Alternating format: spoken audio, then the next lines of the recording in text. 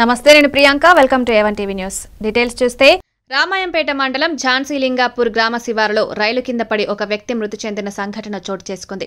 మృతి చెందిన వ్యక్తి గొలుపర్తి గ్రామానికి చెందిన వెంకటాపూర్ శివరాములుగా గుర్తించారు.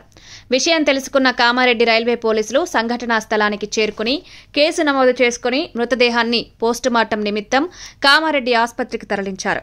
అనంతరం రైల్వే ఎస్ఐ తావు నాయక్ మాట్లాడుతూ ఆర్థిక ఇబ్బందుల వల్ల వ్యక్తి రైలు కింద పడి ఆత్మహత్య చేసుకున్నాడని కుటుంబ సభ్యుల ఫిర్యాదు మేరకు కేసు నమోదు చేసుకుని మృతదేహాన్ని పోస్టుమార్టం నిమిత్తం ఆసుపత్రికి తరలించడం జరుగుతుందన్నారు.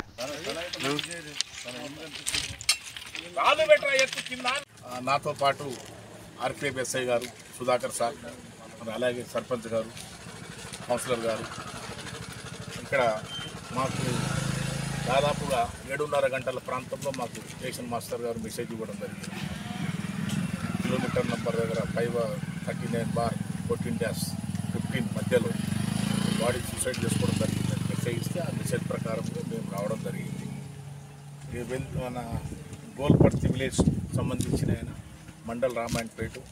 అతని పేరు వచ్చేసి వెంకటాపురం శివరాములు. ఆర్థిక పరిస్థితి బాగాలేని కారణం చేత ఆ, సూసైడ్ చేసుకోవడం జరిగింది.